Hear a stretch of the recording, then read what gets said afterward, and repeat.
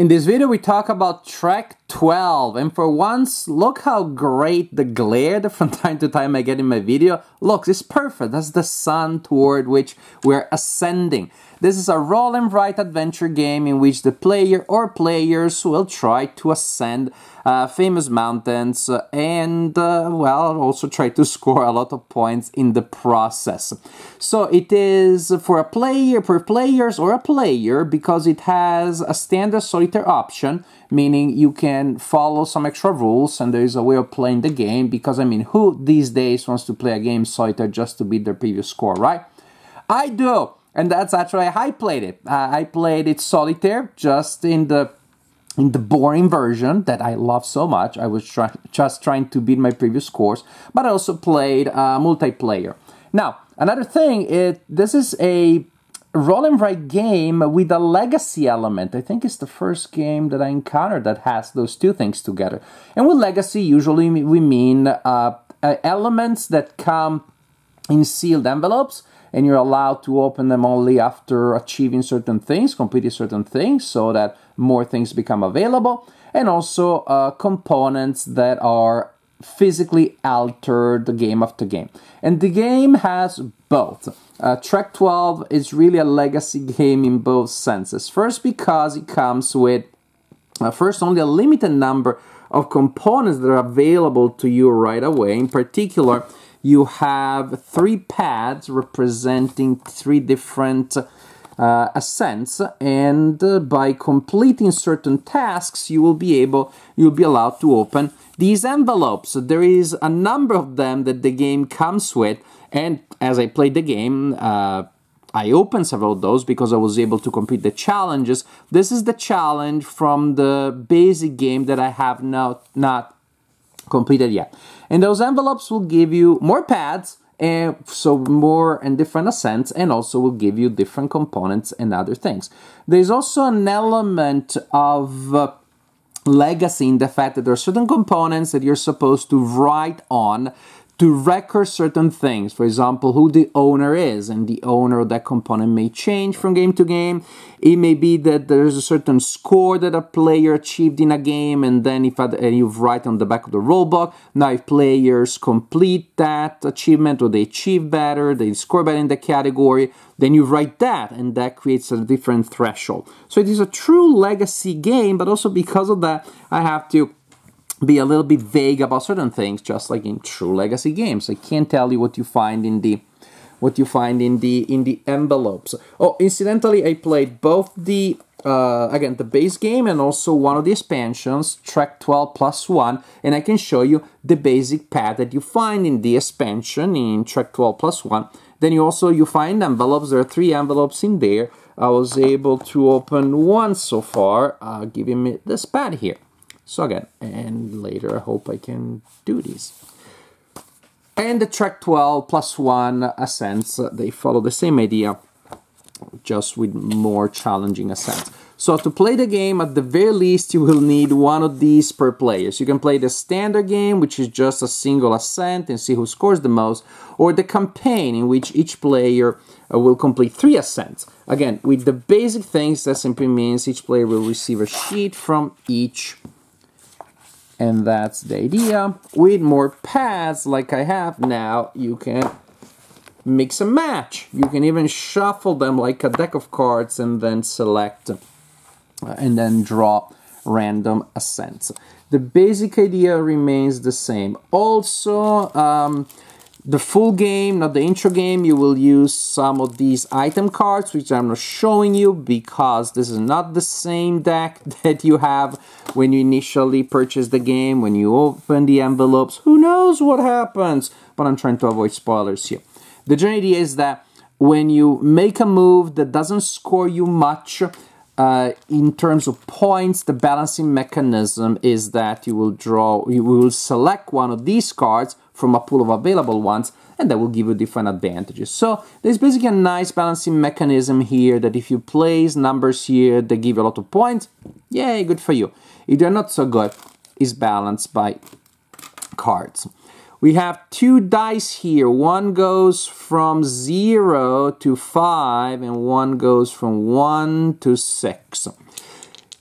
And when we have multiple ascents, uh, we play them in ascending order based on these numbers that you see that you see here. 65 70 75 for example. Now a player no matter whom will roll two dice and then based on those two dice every player will write a number anywhere on their on their area the first move you can do you can place your number anywhere. You will place a single number. Using one of the options indicated here which are uh, limited in number. Once you use one of those options you make a a mark there and when that option is over you cannot use it for that game anymore. So you'll get stuck with something else for example, if I did that, I committed to write down the lower of the two numbers, and suppose that I do that. Now everybody's writing their number, and that's the way it is. Now, after after the first roll, the next rolls, next numbers that you write down need to be adjacent to a number that you wrote prior. And there are two ways in which you're going to score. So, two things you're trying to uh, place your numbers uh, according to. One is you're trying to make lines, and that means that you're trying to place numbers uh, adjacent to one another, that they are one higher or one lower than the previous. And when you do that, then you can write a connection like that. And suppose that here, for example, I had roll such, and now I decide to use the highest of the two. Other things that you can do is to subtract them from one another, add them, or multiply them. Multiply, you cannot go too crazy because you can only have a number up to 12. That's the highest number you can write. In other ascents, these ones with the uh, thicker border, you can only place a 6, 0 to 6 in there. So in this case, I decided to place the highest of the two, and so suppose I can do that. And now imagine that here, that's what I had rolled, booyah, and because that's what I did. And I decide to add them together, mark that option, and I have a 3. So as you can see, when you place a number that is uh, one high or one lower than another one, you can place a connection there and a number can only be part of one of these roped connections. But if I place a number that is the same as one that is next to it, I'm starting to, as it's called, making a camp or opening a zone, something like that. What you do when there are two numbers adjacent to one another, you kind of shade the background a little bit like that, and now they are part of an area that they will score together. Oh, 6 minus 3 is 3. So I'm going to keep building that idea. Now, as you can see, it's uh, see uh, again. Each number can be part only of one of these row things, so I could not say get that one starting that way. Now, I don't have to be as good as I am right now. I could write down a nine there that is neither neither uh, the same number nor um, nor one up or one down. It just sits there for now. But suppose that I did that, for example, see that I could do a 3 plus 1. 3 plus 1 is 4, adding to this area, or 3, um, or just use the highest of the two. Suppose I want to add them because I like the idea of a 4, and I place it here. And I'm making that connection there. And now I want to multiply them, only not. so, but that's the general idea. So you continue to play until the whole thing is filled up, until the whole thing is filled up. At that point, you score points. Each line, each line uh, such as this one, is worth the highest value in it plus one for each number attached to it. So this will be four, five, six, seven. Each camp, these shaded areas of the same value are what the value the number in it plus one for each bubble attached to it. So this would be three, four, five. Now, then you look at your, once you're done scoring them all, you look at your longest, longest road, I mean longest connection, and it scores a number of points equal to the number of connections. So seven numbers connected numerically gives you 50, 15 points. Pretty good. And the same here. You look at the largest area, so right now this would be 3, that will give me 1 point. You look at the largest area like that, and again, that tells you how many points you score. So you add those together.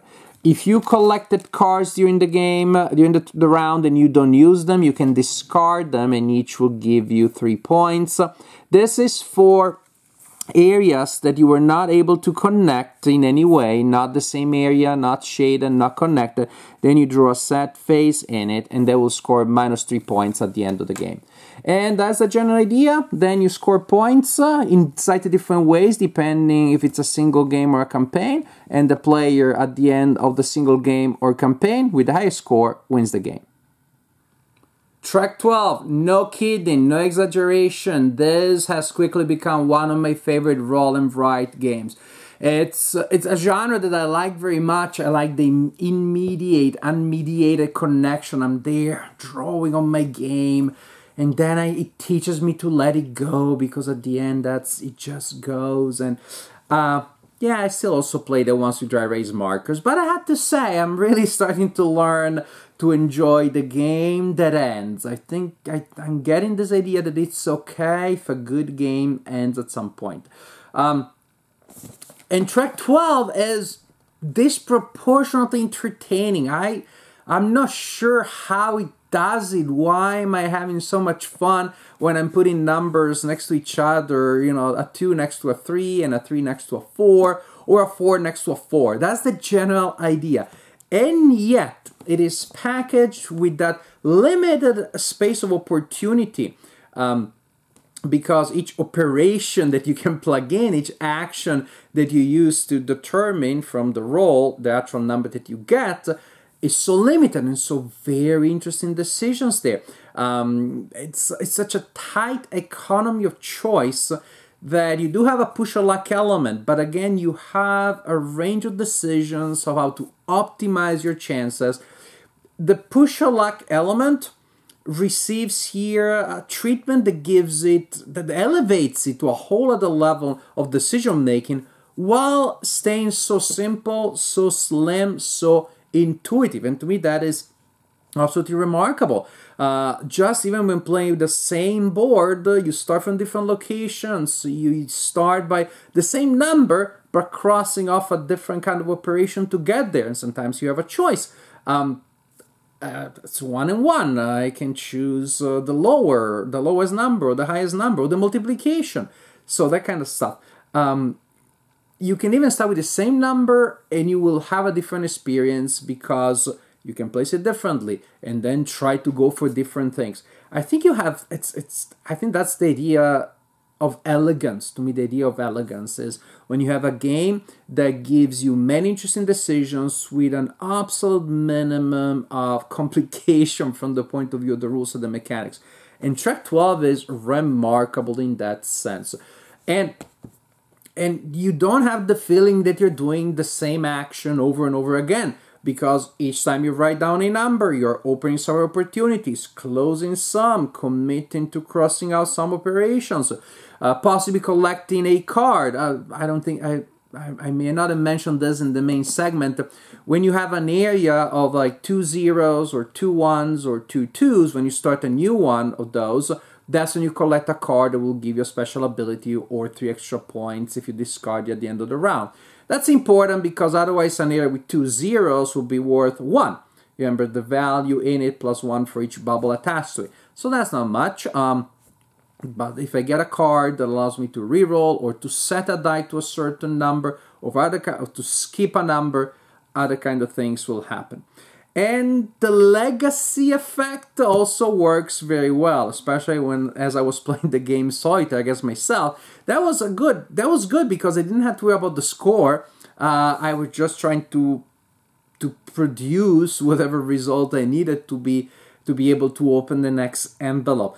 In retrospect, legacy is almost like disappointing or underwhelming? Is that all that there is? You you sequester some elements in a seal envelope. You tell me you can't open it, although I bought it, it's my own money. I know I can't open it. And somehow there's a certain magic, a certain mystique to it, and yes, the game becomes more exciting and satisfying. Uh, maybe you know when you were kids and you got a sticker for uh, as a reward, and then as an adult you think that's silly. Then you turn around and you play a legacy game where you can open an envelope as a reward. Again, there's just something about the human reward system that legacy legacy mechanic has captured. But definitely was super fun to open these envelopes and discover new paths, new things, new rules. If one thing, maybe that's that's the idea that if you're playing competitive, you're trying to create certain patterns to score as many points as possible, and that makes it in some cases hard to achieve some of those objectives. I know that some games I just forgot about the scoring. I just went for opening the envelope. And maybe that's that's the idea that you know, well, then play solo, open more envelopes, and then bring those paths or those other elements that you discover to the event with your friends. I also played it with adult friends who also enjoyed it. I didn't play it with my kids yet, but I think they will also enjoy it.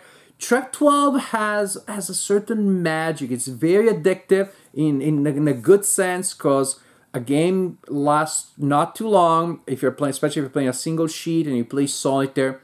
Again, you'll just be playing one after the other. Again, it has a proper solo mode, or you can try the poor man solo mode, which is beat your previous score, which to me that's 100% okay. If nothing else, because these days, if I can play a game without reading certain rules, uh, I'll play that way. And yeah, of course, you had well, I read I read the rules for the solo system, and I thought, oh, I can play with my beating my previous score, and I had so much fun doing it that way. Trek 12 is a heck of a fun game. Easily one of my favorite roll and write games. I'm very excited to see other games in the system because now the general idea I think can be expanded with so many different maps and options and things. The expansion uh, Trek 12 plus 1 also gives you some other interesting challenges, more complex things to do, but that's okay because by the time you get there, the game is trained in the basic stuff, and at that point, you'll be able to get that extra level of challenge. But definitely, very high endorsement from me for Trek 12, an absolutely excellent game.